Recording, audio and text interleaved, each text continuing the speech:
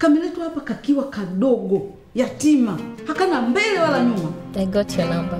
It was nice meeting you. Osana ni rafiki yangu, tulikutana jana.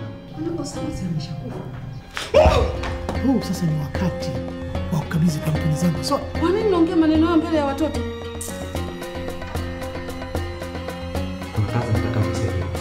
Huwezi kabisa kuniacha kwa rasi, si ndio? Na unatakiwa kufata kila ninachokisema na kukitii siku nyingine usirudie kugonga mlango wangu bila ruhusa yangu. Ni mtoto ndio ameamua kunirudia kama msimu? Nitakuja nikuone siku moja.